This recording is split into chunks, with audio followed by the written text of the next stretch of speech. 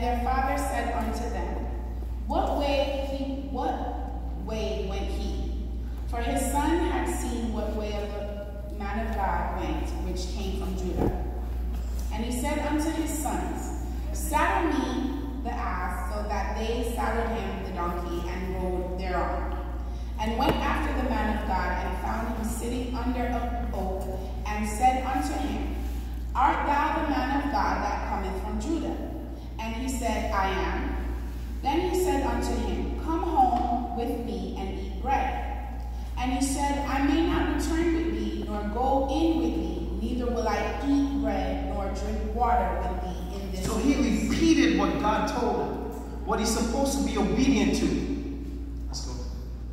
For it was said to me by the word of the Lord, Thou shalt eat no bread, nor drink water there, nor turn to go by the way that thou comest. He said unto him, I am a prophet also, as thou art. And an angel spake unto me by the way, word of the Lord, saying, Bring him back with thee into thine house, that he may eat bread and drink water.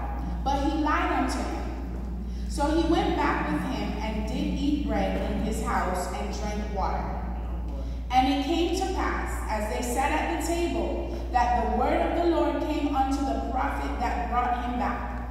And he cried unto him, the man of God that came from Judah, saying, Thus said the Lord, For as much as thou hast disobeyed the mouth of the Lord, and hast not kept the commandment which the Lord thy God commanded thee, but came it back and hast eaten bread and drunk water in the place of which the Lord did say to thee, Eat no bread and drink no water.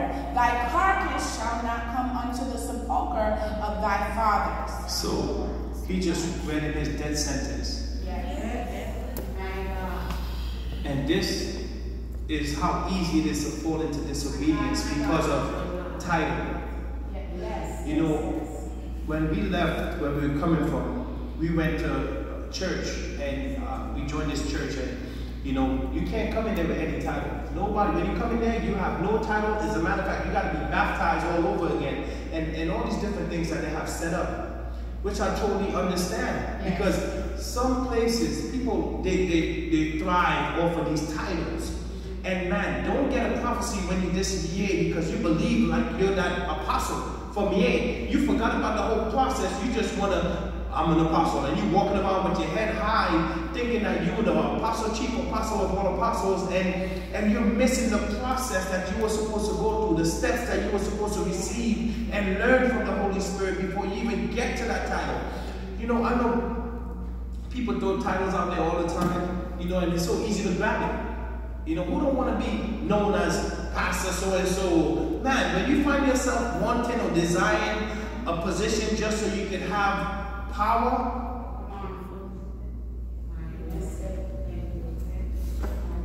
you're going to hear God. Yes. You're going to be obedient to God. You're going to go deliver what God sent you to deliver. But you ain't going to have enough su- substance to keep you obedient. Lord, Lord. Because you'll be easily tricked by a title. The reason why he believed the man because he was an old prophet. Yes.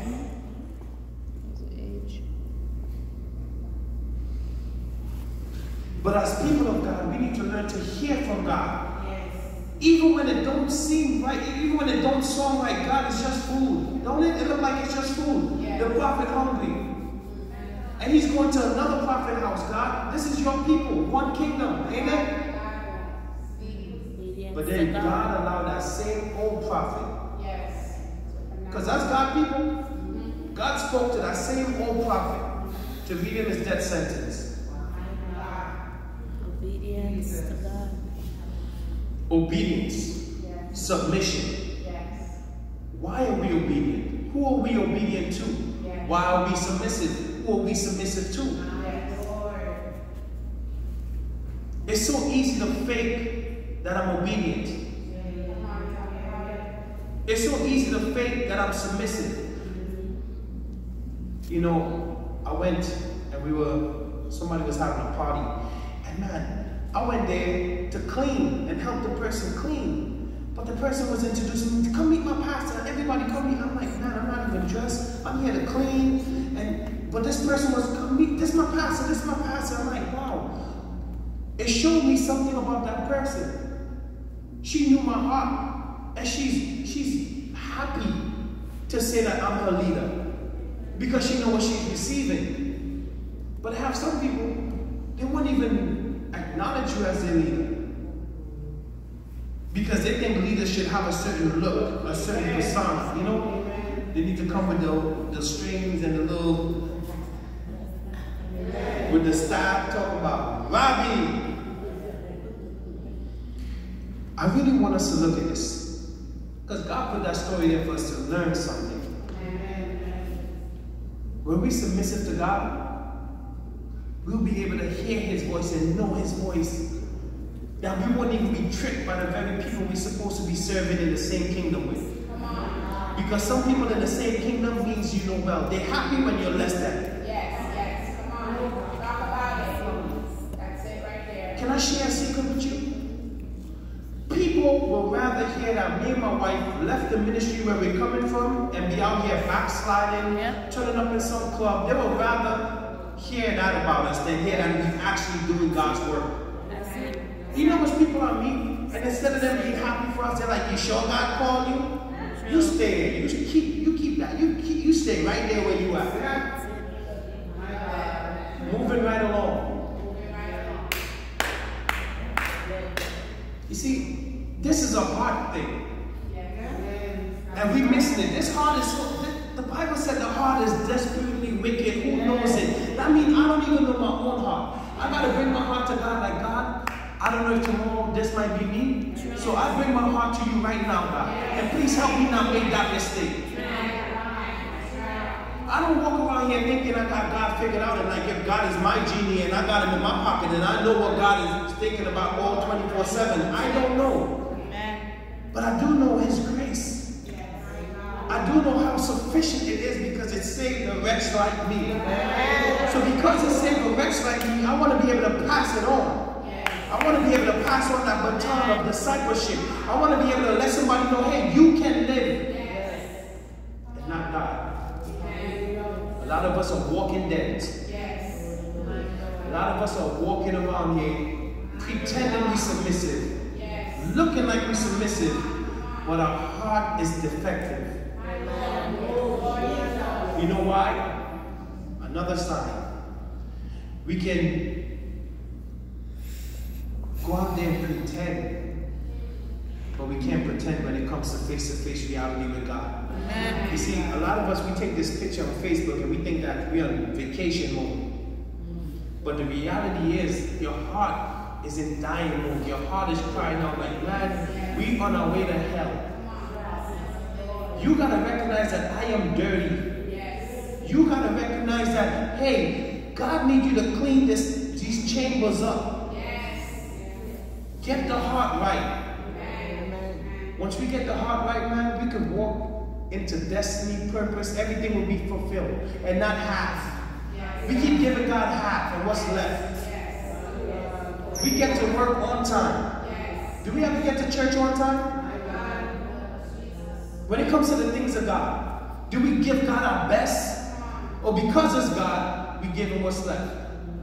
Because it's God, we know His grace is sufficient, His mercy. All these great songs we sing, we start believing in and live by that code when that code is so far from the truth. We just saw where a prophet of God, Yes.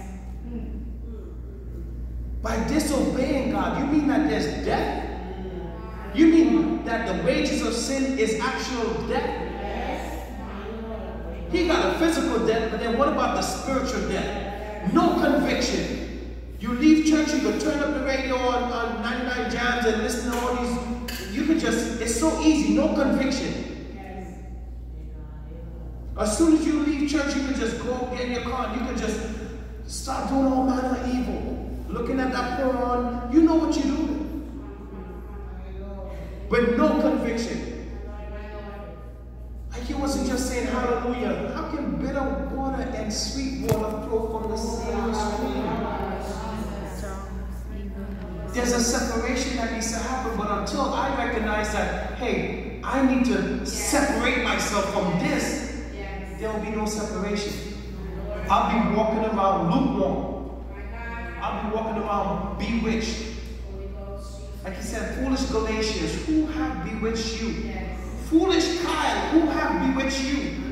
How far do you think he can get trying to trick God? It's a hard thing. It's a hard thing until we realize that this is a hard condition because I was born in sin, shaped in iniquity. I've been living this life for so long. I love how sin feel. I love how the sex feel. I love how smoking the weed feel. I love how smoking the cigarette feel. I just love how going to the club feel. I love that moment. It's like a quick fix. I love how I feel. But now that I come into Christ, it's a whole different new authority I gotta be submissive to. Yes. And we learn what submissive is. A new authority, a new way of doing something different. So now I gotta start training myself to do something different, live different. Amen. It's gonna take practice. Yes. Practice. But once we continue to practice, it becomes a part of us. Amen. Amen. Jesus said, follow me. No, Paul said, follow me as I follow Christ. Now, why would he say that? Follow me as I follow Christ. You know, let's go to Mark 1. Mark 1. Let's see why.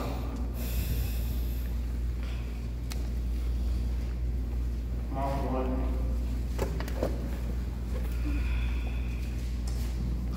The beginning of the gospel of Jesus Christ, the Son of God. As it is written in the prophets, Behold, I send my messenger before thy face, which shall prepare thy way before thee. Jump down to sorry, jump down to 21.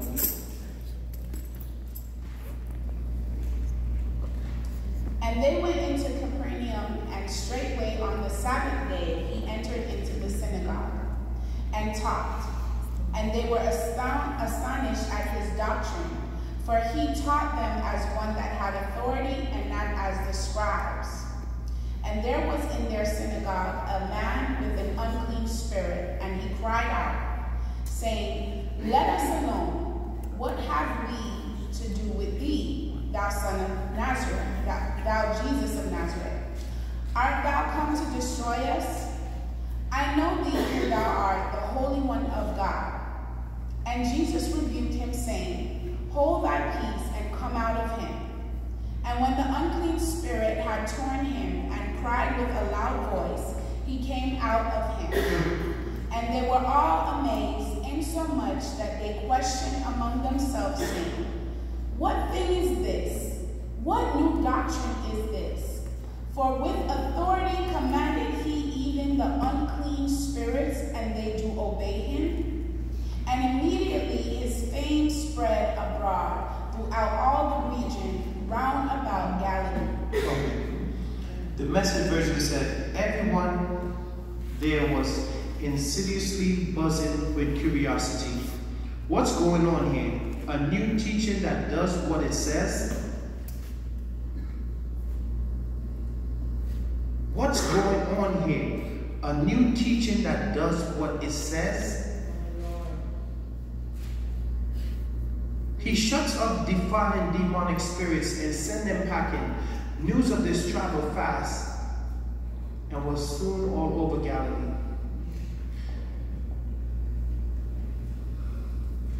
You see, Jesus is the Word. And when the Word go forth, it must do what it says. So now we gotta ask ourselves, why is it that I'm stuck? Is it because I'm not believing the Word? Is it that my faith to overcome this sin is not enough?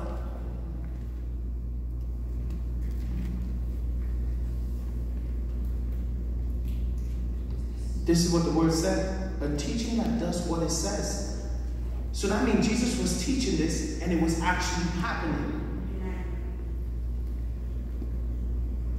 People of God, we need to believe God. If I know I'm struggling with something, I need to seek the word and what the word says about how can I overcome this thing. But how are we going to get the answer if we don't seek? If we're not excited to go in there and, and, and, and become revealed and let God, look, it's me, it's me, it's me, oh Lord. I'm dirty. Here I am. Clean me up, Jesus. I don't know why, as soon as I leave the presence of the believers, it's like this, this evil side of me just want to kick in like I'm bipolar.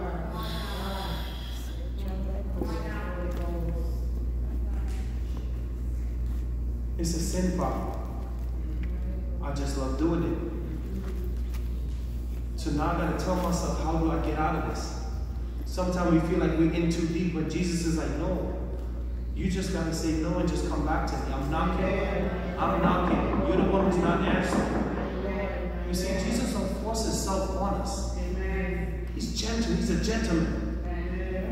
But just I gotta recognize the steps that I need to take to bring forth a change in my life. Can't keep hearing truth and then not trying to practice it and live it. Amen. There's too much truth happening in this ministry for us not to become livers and doers of the word. Amen. If we are not livers and doers of the word, I need to question myself where am I lacking? Why am I not displaying spiritual integrity? The prophet thought he was by himself or something. I don't know if he thought Jesus went on vacation, decided to go follow the older prophet because he named prophet and ended up catching his death. He didn't get an opportunity to repent. He did God work well. Could you imagine? And then God just allowed his body to lay there. The lion didn't even eat him because he was so contaminated.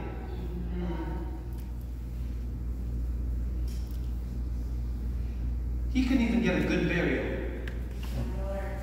His parents just heard that he was dead. Went to do God work. Can you imagine the celebration? Oh, he was doing God work. He died on the mission field. Didn't even know he died in disobedience. We got to be careful, people of God. Who am I submissive to? Many of us, we know when our back is against the wall, God is speaking because we have that conviction. We know he's, this is wrong. But the thing is, we got to expose the enemy because that's the true enemy. Amen. When I know my desires is, is a lot, is a little bit too much, I got to hold up. What is this? Where is this coming from? This is why not a lot of change. We have in conversion people saying the little holy remedy, oh, believe in my heart, confess with my mouth. Yeah, we have a lot of people doing that. We could count probably a thousand people who did that. But the challenge is, can you live it? You know, when we first started Shiloh's house, you know, people give their first seed. And God told us to give the money to Sean. I'm like, Brother Sean, I don't even know where this kid lives. What do you mean giving the money? I, I can't trust him. God had to talk to me. This is not about you, brother man. This is about him. And I had to tell Sean, look, I'm sorry, because this is how I felt. I didn't know you. I, I don't even know where you live. But how can God allow me to just say, hey, look, take all these people money? You could probably run off. My mind started going off, and I had to confess it to him. yeah, I had to confess it to him so, so I can be right. Amen. This is bigger than me and you. I'm trying to be right with. I don't want when I look at you, I'm being a hypocrite. I don't want to fake a smile. That's just not in my DNA. I don't want to be fake. It's a hard problem, but we got to get to it. We got to get to the root of it. But it's only you can get there. I'm not coming in there. I did enough deep sea diving for me. Now it's your turn to step up. Grow up. It's time for us to grow up as a ministry. It's time for us to grow up as a, as a culture that, that embrace the change, the transformation that Christ had for us. We gotta all look like Jesus. He didn't just say you look like Jesus. No, it's an opportunity for all of us to look like Jesus. But what's on the inside is gonna flow out. That's right. We can tell from how people speak. We can tell from how we treat each other. Some of us won't even treat somebody else because they, they don't have profit or title to their name. They, they would treat them like they, they're less than. Nah, we gotta esteem each other higher. We gotta learn to esteem each other higher. We gotta learn to esteem each other higher. I can learn from you. I don't ever try to put myself in a place where I can't learn from you. But when I learn, I gotta make sure I never put myself back in that situation where I gotta keep learning from you. I gotta grow now. I gotta elevate. My enemy now become my footstool. So the enemy that I was struggling and stuck now became my footstool so I can go higher. Submission. I have to know. Once I know that I'm submitting to truth, I know God got me. If Jesus treated all the disciples the same, that even on the day he was going to be betrayed, nobody looked at Judas and said it was you. That means he treated everyone equally. This is why I was able to trust Sean with the people money. This is why I'm able to trust some of you guys, although you guys are like this in my back. Because it's not about us, it's bigger than this. I want your heart to catch up with your truth. The same way I need my heart to catch up with my truth. If I say I confess and I believe God, now my heart got to catch up to that. This is a message for us to all check our own heart. There's no more time for faking it. There's no more time for pretending. If we truly family, if we truly are part of the same kingdom, it's time for us to truly, genuinely love each other and help each other.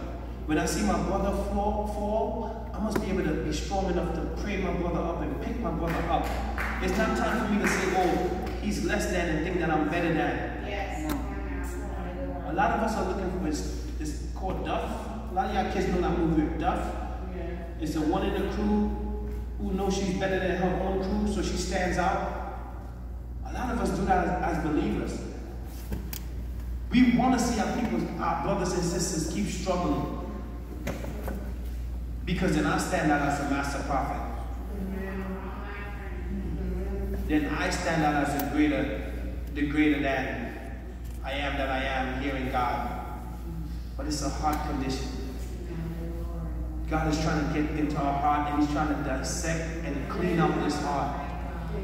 God want to restore us, but it's just us, our heart, our heart condition. I gotta love God more than I love sin. I gotta love God more than I love anything else. I gotta give God my best. Hallelujah. Anytime you find yourself can't even put your hands up entirely, or your hallelujah becomes like, yes, hallelujah.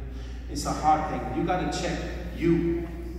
Sin is in the camp somehow. And you gotta be honest with you. Because the Bible says, who the Son set free is free indeed. So I hold nothing back from God. And He's not a condemning God. He, doesn't condemn us. When we truly free, you can tell when somebody's truly free. Because they know that if the hallelujah is an offering to God. They know that their prayers is an offering to God. So I want us all to present our bodies as a living sacrifice, holy and acceptable unto God. We're not presenting our bodies to each other, we're presenting our body to God. Amen. It's a call for us to repent. It's a call for us to get back to His will. Be submissive to Him first. Be submissive to God first. And watch everything else line up in place. You see, a lot of us, we when we see our sister or our brother fall, we love to join in with the team and talk. And then we touch and agree with the wrong prayers. Yes. When we talk about, you know, I don't want to use Brother Sean, I want to use somebody. somebody use somebody. I can't use Sister Stacy. Is there anybody I can use? Sister Jessica. No. But I'll use myself. All right? You get the point, right? Yes. We all gotta grow. And we gotta help each other grow. Yes. yes. I want you to do better. I want you to become better. I don't want you to be stuck. Because when you grow, I grow. When I grow, you grow. God wants us to grow. Grow together.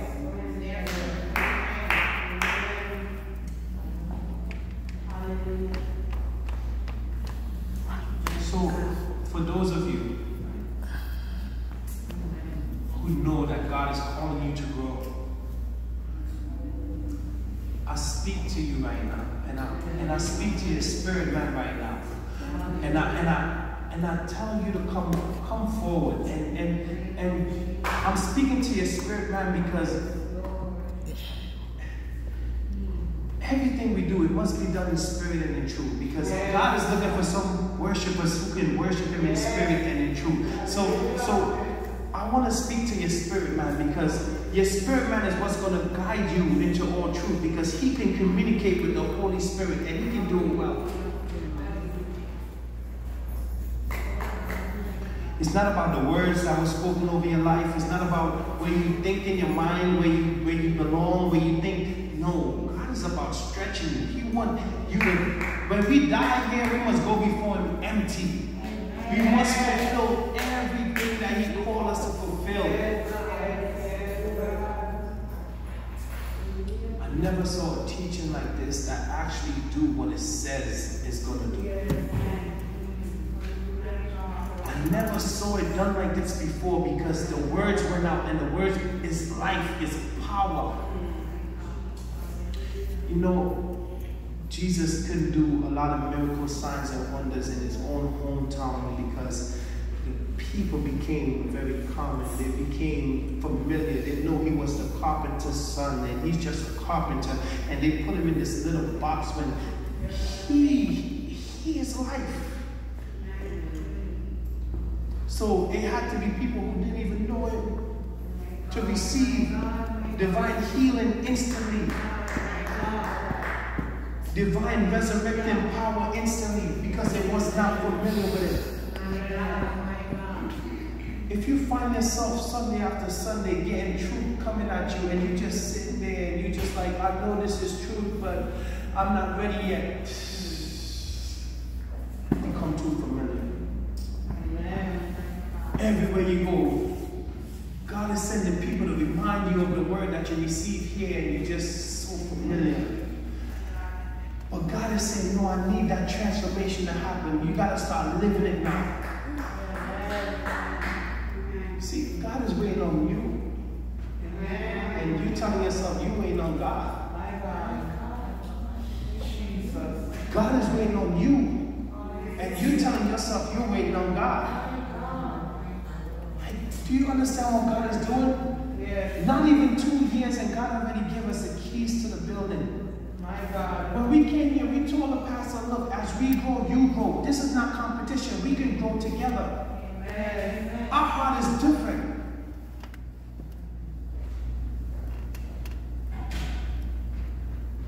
But you gotta know. You gotta be ready to grow.